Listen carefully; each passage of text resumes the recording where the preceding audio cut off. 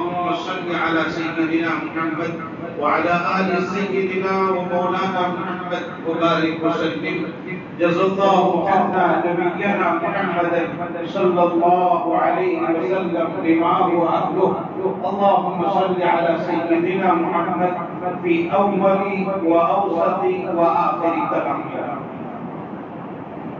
بزرگان محترم برادران اسلام آج کی اس گفتگو کا آغاز ہم ایک واقعے سے کرتے کرتے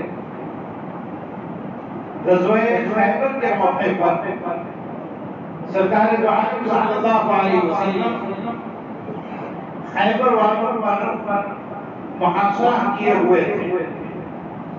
آپ کے صحابہ آپ کے ساتھ میں اور اسی محاصرے کے دوران ایک حبشی غلام، کسی یہودی کی بکریاں چلا رہا اور اس نے دیکھا کہ مسلمان آئے ہوئے ہیں اور مسلمانوں نے محاصرہ کر رکھا ہے، یہودیوں کو گھیر رکھا ہے۔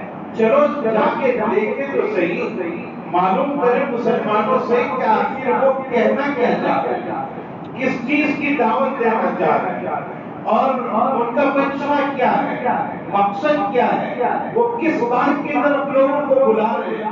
اس ارادے سے وہ حبشی غلام اپنی بکریوں کے ساتھ سرکار عالم صلی اللہ علیہ وسلم کے صحابہ کے پاس حاضر ہوا اور آ کر یہ سوال کر رہا ہے کہ تمہارے صدر، تمہارے بڑے تم جن کو اپنا بڑا مانتے ہیں، سردار مانتے ہیں، وہ کہاں ملیں گے میں ان سے ملنا چاہتا ہوں۔ تو صحابہ کرام نے ایک کھجور کے چھالوں کا بنا ہوا ایک چھوٹا سا خیمہ، اس کی طرف اشارہ کیا اس خیمے پہ ہمارے آقا سرکار عالم صلی اللہ علیہ وسلم بیٹھے ہوئے ہیں۔ تو وہ حبشی غلام تعجب میں پڑ گیا کہ اتنا بڑا آدمی، اتنا بڑا سردار، اور جن کے مانگنے والے اتنے زیادہ ہیں، اور وہ اتنے بڑے آدمی ہو کر ایک معمولی خیمے میں یہ کیسے ہو سکتا ہے؟ صحابہ کرام نے سمجھایا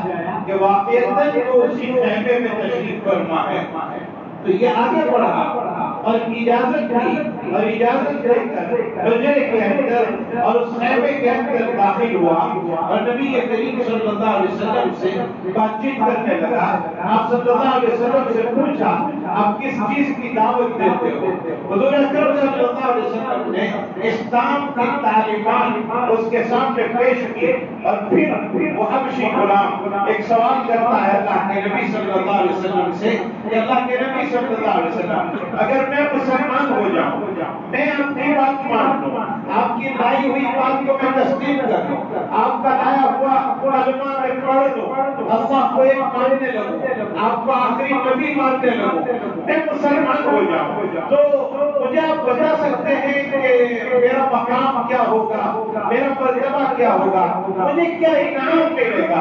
حضور اکرم صلی اللہ علیہ وسلم نے فرمایا کہ اگر تم مسلمان ہو جاتے ہو تو سب سے پہلا انعام یہ کہ میں محمد رسول اللہ صلی اللہ علیہ وسلم تجھے اپنے سینے سے میں لگا وہ تعجب میں پڑ گیا کہ میں تازہ کروٹا آدمی پسینے میں شراب ہو بکریوں کا چرواہا اور حضور آپ یہ فرما رہے ہیں۔ آپ اپنے سینے سے مجھے لگا لیں گے۔ کہا، بالکل پک کی بات۔ اگر تو نے کلمہ پڑھ دیا، میں اپنے سینے سے تجھے لگا لوں گا۔ اور جتنے حقوق مسلمانوں کے ہو سکتے ہیں، وہ سارے حقوق تجھے ملیں گے۔ تجھے وہی مقام ملے گا، تجھے وہی مرتبہ ملے گا جو مسلمانوں کو ملتا ہے۔ اور اگر تو اس میدان میں شہید ہو گیا۔ مسلمان ہونے کی حالت میں تو اللہ تیری سیاہی کو سفیدی میں تبدیل کر دیں گے۔ تیرا پیالہ پر ختم ہو جائے گا اور بہت بڑا درجہ اللہ تعالیٰ تجھے نصیب فرمائے۔ خیر وہ آدمی مسلمان ہو گیا۔ سرکار دو عالم صلی اللہ علیہ وسلم کے پاس کلمہ پڑھ دیا اور حضور سے وہ پوچھ رہا ہے اللہ کے نبی صلی اللہ علیہ وسلم، میں مسلمان آپ حکم فرمائیے کہ میں کیا عمل کروں؟ کون سی بات لے کر میں چلوں اس بات پر عمل کرو کوئی عمل بتا دیجیے حضور اکرم صلی اللہ علیہ وسلم نے فرمایا، اس وقت جبکہ مسلمان ہوا ہے، نماز کا وقت نہیں ہے رمضان بھی نہیں ہے کہ تجھے روزہ کا حکم نماز کا وقت نہیں ہے کہ تجھے نماز پڑھنے کے لیے کہو۔ زکات میں پر فرض نہیں ہے تو غریب ہے۔ اور زکات کے حکم بھی تیرے کو نہیں دیا جا سکتا ہے۔ ایک ہی کام ہے۔ میرے صحابہ جہاد میں لگے ہیں۔ تو بھی جہاد میں لگے ہیں۔ تو وہ آدمی کھڑے ہو رہے ہیں۔ مسلمان ہو گئے ہیں صحابی بن گئے۔ ہیں حضور اکرم صلی اللہ علیہ وسلم نے فرمایا کہ اگر تو بکریاں لے کر آیا، وہ کس کی ہے؟ کہا ایک یہودی کی ہے؟ میں اس کے یہاں نوکری کرتا ہوں۔ میں اس کا ملازم اور بکریاں چلانے کے لیے آیا تھا۔ اور آپ کے سامنے حاضر ہو گئی۔ سرکار عالم صلی اللہ علیہ وسلم جبکہ ان یہودیوں کا محاصرہ کیے ہوئے ان یہودیوں کی بکریاں تھی مخالف کی بکریاں تھی دشمن کی بکریاں تھی اور وہ ان کا مال غنیمت بننے والا تھا۔ لیکن اس وقت تو یہ آدمی اس یہودی کو یہ وعدہ کر کے آیا ہے کہ میں تیری بکریاں چرانے کے لیے جانا ہوں۔ حضور صلی اللہ علیہ وسلم نے فرمایا، جہاد میں میں پہلے یہ بکریاں لے کر اس یہودی کے پاس جاؤ جس کی یہ بکریاں ہیں۔ اسے جا کر سپرد کر دو اس لیے کہ اس وقت یہ آپ کے ہاتھ میں امانت ہے، ذمہ داری ہے تمہاری یہ امانت کو پہلے ادا کر دو اور اس کے بعد یہاں حاضر ہو کر کے ہاتھ میں حاضر۔ یہ اسلام ہے میرے بھائی۔ خیر وہ آدمی چلے گئے، بکریاں سپرد کر دی، واپس آ گئے، اسی میدان میں کام کرتے رہے، شہید ہو گئے۔ اور اللہ کو پیارے ہو گئے۔ صحابہ کرام جب لڑائی کے بعد لاشوں کا معائنہ کر رہے تھے۔ تو دیکھتے دیکھتے اس آدمی کو دیکھا، اس کو کوئی پہچانتا نہیں تھا۔ صحابہ نے نبی کے کریم صلی اللہ علیہ وسلم سے عرض کیا، اللہ کے نبی صلی اللہ علیہ وسلم، ایک لاش ایسی ہے جس کو ہم میں سے کوئی نہیں پہچانتا ہے۔ سمجھ میں نہیں آ رہا ہے کہ وہ کون آدمی ہے۔ نبی کریم صلی اللہ علیہ وسلم تشریف لائے اور آپ نے دیکھا، اس لاش کا معائنہ کیا اور دیکھنے کے بعد فرمایا اے میرے صحابہ تم اسے نہیں پہچانتے، میں اسے پہچانتا ہوں۔ میں اسے جانتا ہوں کہ یہ کون ہے۔ یہ صحابی ہے میرا۔ یہ مسلمان ہے مجھ پر ایمان لایا تھا۔ اور اس نے اسلام لانے کے بعد نہ تو نماز پڑھی۔ اسلام لانے کے بعد اس نے نہ روزہ رکھا۔ اسلام لانے کے بعد نہ اس نے حج کیا، نہ اس نے زکات ادا کی۔ ایک عمل نہیں کیا ہے۔ لیکن میں محمد رسول اللہ صلی اللہ علیہ وسلم اس کے قدموں کو جنت میں چلتا ہوا دیکھا اس نے کوئی نیکی کا عمل نہیں کیا۔ سچے دل سے مسلمان ہو گیا۔ یہ ہے اسلام کی طاقت۔ یہ ہے مسلمان بننے کی طاقت۔ یہ ہے کلمہ طیبہ کی طاقت۔ ایک مرتبہ کلمہ طیبہ پڑھ دیا۔ وہ آدمی کہاں سے کہاں پہنچ گیا؟ کس مقام تک پہنچ گیا؟ صحابیت کے مقام تک؟ اور بننے کے بعد آرام کی زندگی میں وہ پہنچ گیا۔ یہ اسلام ہے۔ اس واقعے کے ذریعے سے میں آپ کو ایک بات سمجھانے کی کوشش کرتا ہوں یہ اسلام ہمارا مذہب ہے۔ ہم نے مسلمان ہونے کے لیے کلمہ پڑھا ہے۔ ہم پیدا ہوئے تو ہماری کان میں اذان و اقامت کہی گئی تھی۔ اللہ کا نام بولا گیا۔ تھا ہم جب چلنے پھرنے لگے اور کچھ بولنے لگے تو ہمیں مکتب میں لا الہ الا اللہ سکھایا گیا تھا۔ محمد رسول اللہ صلی اللہ علیہ وسلم سکھایا گیا تھا۔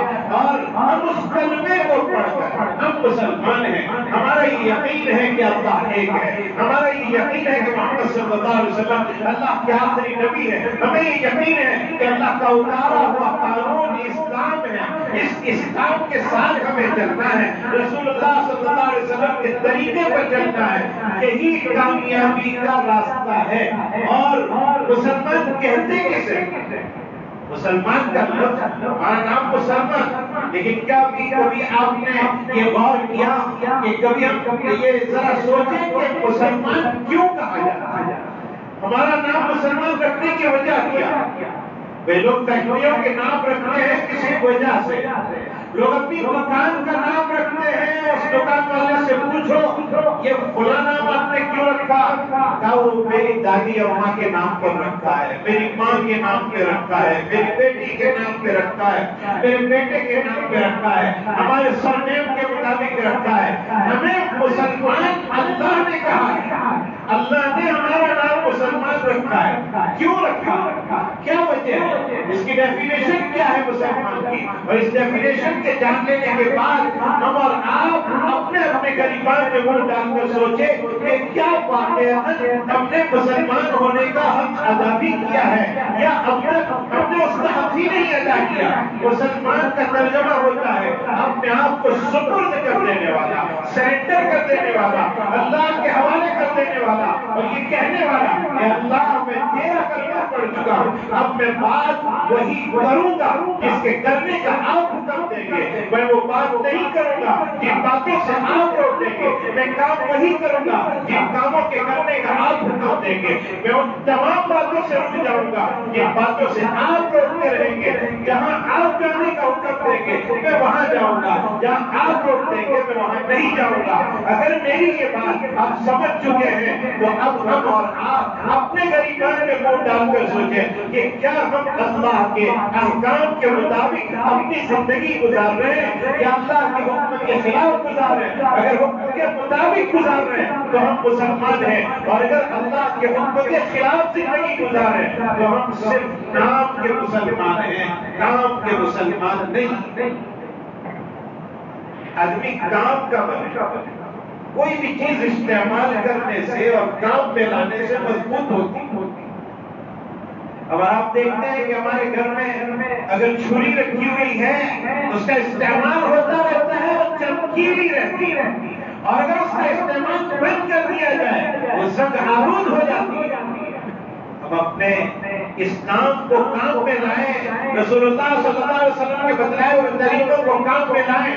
اس کام روشن ہوتا رہے گا، ہمارے اندر اترتا رہے گا، ایمان میں رسوخ آتا رہے گا، مضبوطی آتی رہے گی۔ اس لیے میرے بھائیوں پکے سچے مسلمان بنے قرآن نے اسی کا مطالبہ کیا ہے۔ یا ایوہ الذین آمنوا ادخلوا فی السلم کافہ۔ ایمان والو اسلام میں پورے پورے داخل ہو جاؤ۔ اسلام میں کمپلیٹ داخل ہو جاؤ۔ آدھے ادھر آدھے ادھر۔ ایسے ہو کر رہنے کے لیے اسلام نے نہیں کہا ہے، قرآن نے اس طرح نہیں کہا ہے کہ تھوڑی دیر کے لیے لباس میں یہود بن جاؤ اسلام یہ نہیں کہتا ہے۔ ہمارا چلنا پھرنا منافقین و مشرقین کی طرح ہو، اس طرح نہیں۔ اسلام یہ نہیں کہتا ہے کہ ہم صرف مسجد میں مسلمان نظر آئیں اور بازار میں ہم پہچانے نہ جائیں۔ یہ اسلام نہیں کہتا ہے، اسلام یہ کہتا ہے ہر ہر قدم پر مسلمان نظر آئیں ہمارا چلنا پھرنا، اٹھنا بیٹھنا، گفتار و رفتار، بولنا اور ہر ہر چیز ہماری اسلامی قانون کے مطابق اسلام ایک ایسا مذہب ہے، جس نے زندگی کے گزارنے کے تمام مراحل پر کر دیا اس مرحلے پر چلو، اس طرح چلو، یہ کرو، وہ کرو۔ ہر ہر چیز بچے کی پیدائش سے لے کر انتقال دفنانے تک کے احکام اس مذہب نے بیان کیا اسے اسلام کہنا کوئی ایسا مسئلہ باقی نہیں رکھا ہے اسلام نے، جس کو بیان کر دیا۔ ہر ہر چیز بیان کر اور اب ہم زمان ہماری ذمہ داری ہے کہ ہم اس نظام کے مطابق چلیں اس طریقے کے مطابق چلیں جو طریقہ سرکار دو عالم صلی اللہ علیہ وسلم نے ہمیں عطا فرمایا ہے، وہ ہماری زندگی کے ہر ہر موڑ پر شادی کا موقع ہو، ہمارے یہاں نکاح کا موقع ہو یا موت اور غمی کا موقع ہو، ہر آن ہر گھڑی اسلام پہلے نمبر میں نے پچھلے جمعہ ایک جگہ یہ بات ذکر کی تھی کہ کہیں ایسا تو نہیں ہے کہ کلمہ طیبہ ہمارا۔ ایسا ہم پڑھ رہے لا الہ الا اللہ، محمد رسول اللہ ایسے راستے سے گزرتے ہوئے کسی دکان کا نام ہم پڑھ دیتے شاہین بورڈ پر لگا ہوا کوئی اعلان ہم پڑھ دیتے کہیں اسی طرح پڑھتے پڑھتے جیسے ہم گزر جاتے ہیں، کلمہ طیبہ اتنا ہی اسی طرح پڑھتے ہیں۔ کلمہ طیبہ جب ہم پڑھ رہے ہیں، تو اس کے تقاضوں کے ساتھ زندگی گزارنی۔ کلمہ طیبہ پڑھ جانے سے اور مسلمان بن جانے سے ہم ذمہ دار بن جاتے ہیں اسلام کی حقانیت اور اسلام کی سچائی غیر مسلمین میں تک جو کہ مسلمان نہیں ہے اور ایسے لوگ جو اسلام چھوڑ کر دوسرے مذہب میں جا چکے ہیں، وہ تسلیم کر رہے ہیں۔ میں نام نہیں ہوگا خود سمجھ جائیں گے کہ ابھی ماضی قریب میں ایک آدمی جو غیر مسلم بن گیا، اس نے یہ اعتراف کیا ہے کہ واقع مسلمان وہ قوم ہے اور اسلام کا مذہب ہے کہ کسی مذہب کا آیا ہوا آدمی اگر وہ مسلمان ہو جاتا ہے مسلمان اسے اپنا بھی لیتے ہیں، اسے اپنی بیٹی بھی نکاح میں دے دیتے ہیں۔ اور اس کو اپنی تجارت میں بھی شامل کرتے ہیں، اپنے کاموں میں بھی شامل کرتے ہیں، جبکہ دوسرے مذاہب میں، ان مذاہب میں اختیار کر لینے کے بعد بھی ایسے مذاہب ہیں کہ ان سے رشتے کا تعلق نہیں ہوتا۔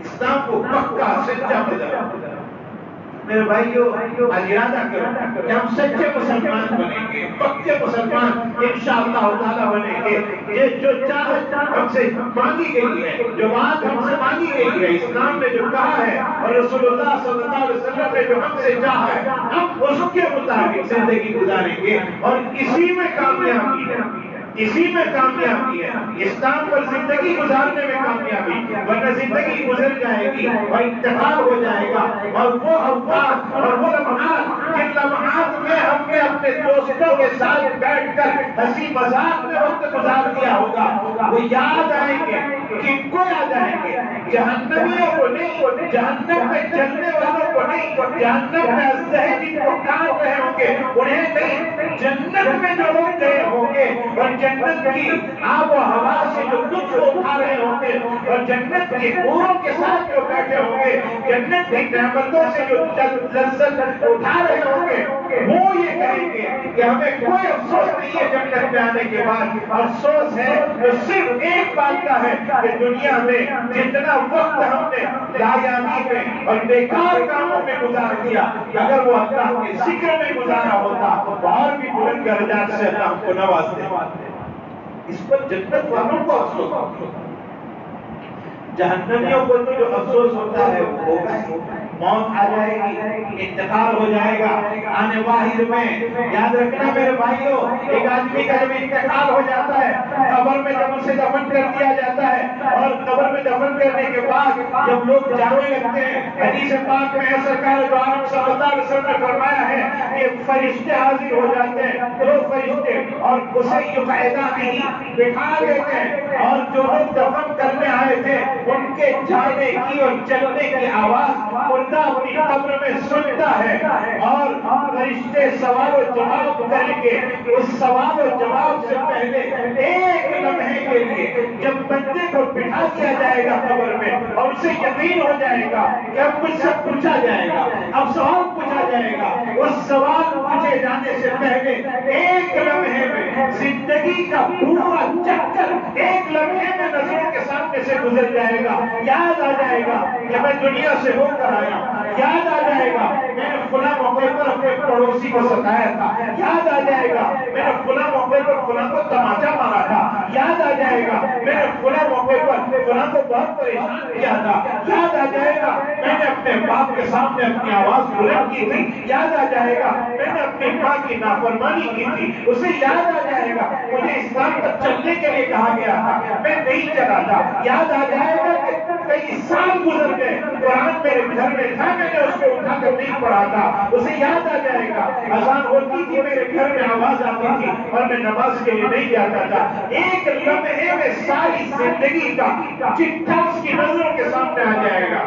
فرشتے اس کے سامنے سوال کر میرے بھائیوں اس سے پہلے ہمیں تیاری کرنا ہے۔ تیاری کرنا ہے۔